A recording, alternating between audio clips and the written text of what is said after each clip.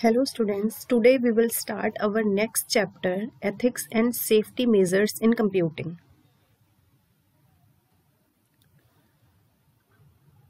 Nowadays, each and every person is directly or indirectly affected by internet as it is an ocean of information. Using internet, one can access millions of articles easily as you all know, internet offers innumerable advantages. So few of them are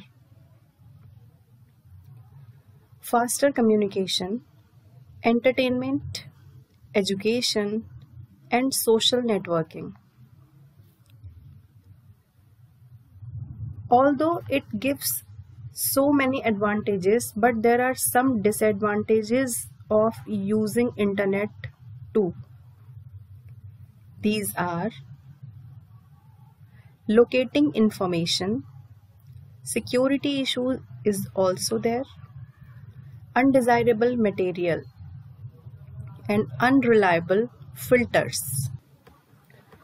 As we all know, internet is the ocean of information.